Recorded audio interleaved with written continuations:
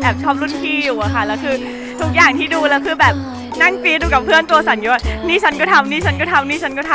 ำพุธเธอก็ไม่มาเช้าสายก็ไม่มีพาหรือหัดว่างเปล่า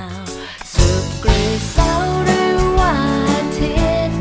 ไม่มีวันไหนไม่คิดถึงไม่มีวันไหนขอบคุณนะคะที่ทำหนังเนี่ยทำให้เรารู้สึกว่าอายุกลับไปสักมหนึ่งมสองก็ได้เก่าของ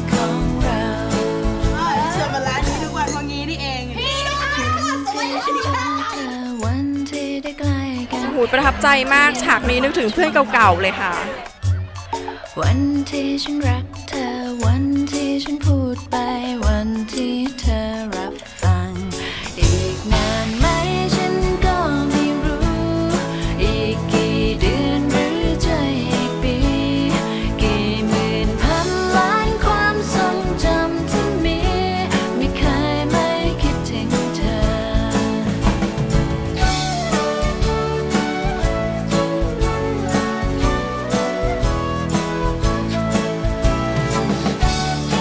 อสายคุณโชนค่ะ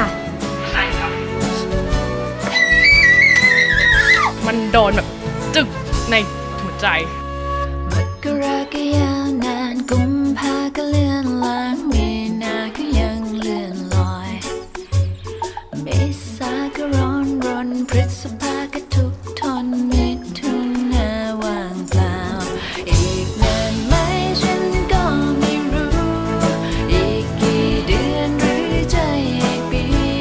พื่อนนี่คือโดนมากจริงๆตอนเด็กๆเราแบบสนิทกับเพื่อนแล้วพอเรามีแฟนบางทีเราก็ห่างจากเพื่อนไปลืมเพื่อนไปบ้างอย่างเงี้ยค่ะแต่สุดท้ายแล้วยังไงเพื่อนก็ต้องอยู่ข้างเราเสมอ